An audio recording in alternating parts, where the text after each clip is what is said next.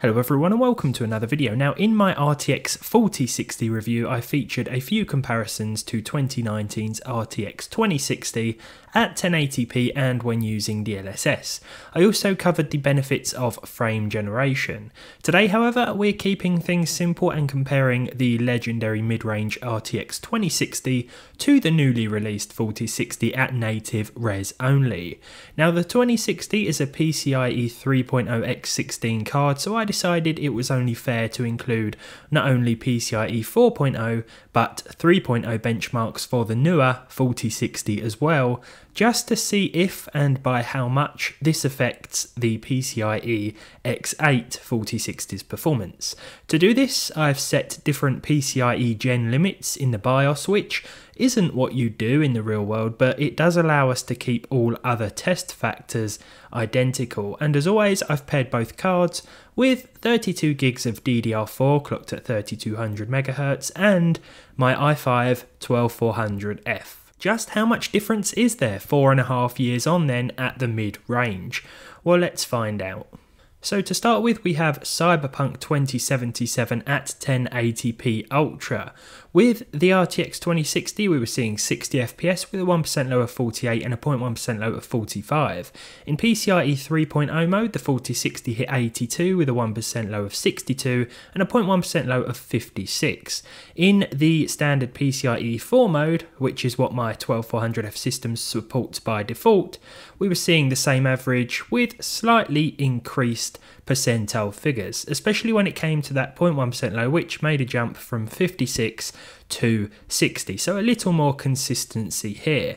Where possible, I used Game's inbuilt benchmark tools just so that we were getting as accurate results as possible, but games that didn't have a built-in benchmark, well, I just tried to replicate the exact same scenario three times over with each configuration. Far Cry 6 also has a built-in benchmark run, and here we were using the 1080p Ultra preset once again.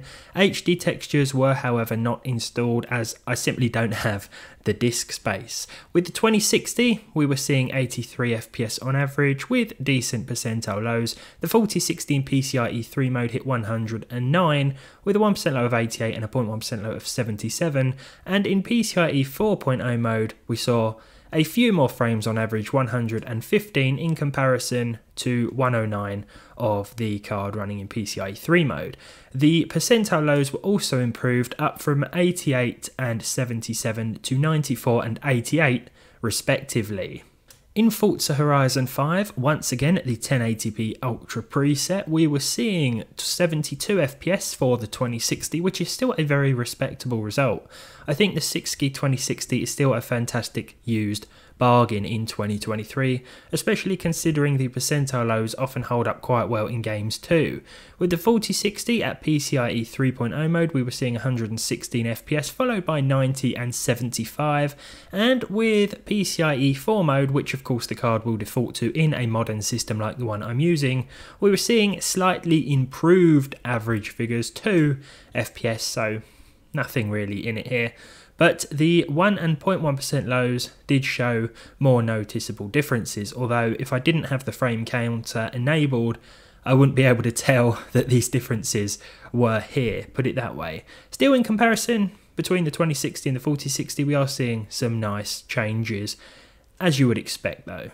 That's not necessarily an endorsement for the card, of course, I'm merely showing you the figures that I've seen today.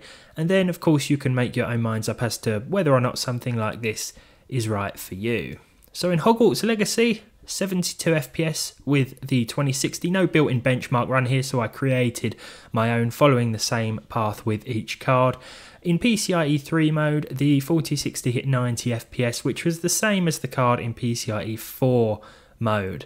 Those percentile lows were also quite similar, but that 0.1% low um, did suffer a little bit more with the card in PCIe 3.0 mode, 34 in comparison to 42. You'll notice the 0.1% low of the 2060, however, was pretty similar still. So frame drops here and there across all three results and with both cards, unfortunately. For Call of Duty Modern Warfare 2, the in-game benchmark run gave us 69 FPS on the 2060, very nice.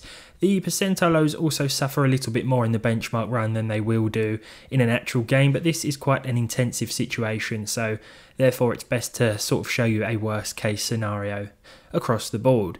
In PCIe 3.0 mode, 106 FPS for the 4060, and the PCIe 4 result was 107. Again, those percentile lows were very similar, and no noticeable differences between the two modes for the newer mid-range card, that's for sure. Our penultimate result is Red Dead Redemption 2. Here with the ultra textures, everything else was set to high apart from TAA medium, which was set to, well, I just said it, medium.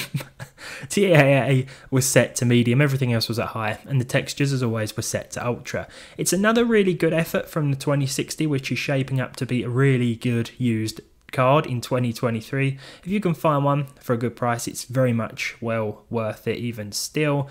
For the 4060 in PCIe 3 mode, 107 FPS, 3 frames lower than the card in PCIe 4 mode, and again those percentile figures were pretty similar, though we did see a few more frames when it came to that 0.1% figure for the 4060 running at its best. Of course, results may also differ depending on the CPU you're using as well, but I find that something like the 12400F is an ideal pairing for all of, or for both of these cars, in fact, the 2060 and the 4060. It's still a great choice in 2023 and it doesn't cost too much either.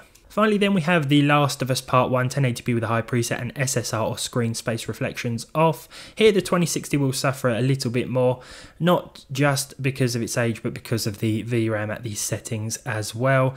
But overall the percentile lows remained quite consistent. Results were similar with the 4060 in both modes though 4 more frames on average definitely put it ahead in PCIe 4 mode and when it came to those percentile figures, a couple of little changes as well, but the difference between the 2060 and 4060 at its best was about 24 FPS on average, with improved frame times, of course, but there we go.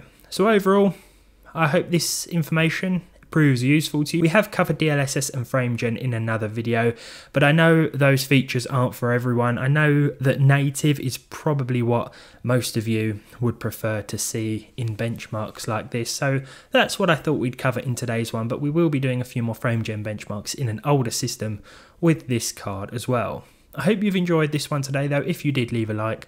Leave a dislike if you didn't. Subscribe to the channel if you haven't done so already. Let me know your thoughts in the comments. And if you do have any more suggestions regarding this card or any others, please let me know as well in the comments whether you want to see more 4060 benchmarks, 4060 Ti benchmarks, or benchmarks with the 2062. As always though, I will have some older cards and older systems being tested very soon as always, and a couple of low cost budget builds coming up as well. Thank you as always for watching, and hopefully, I'll see all of you in the next one.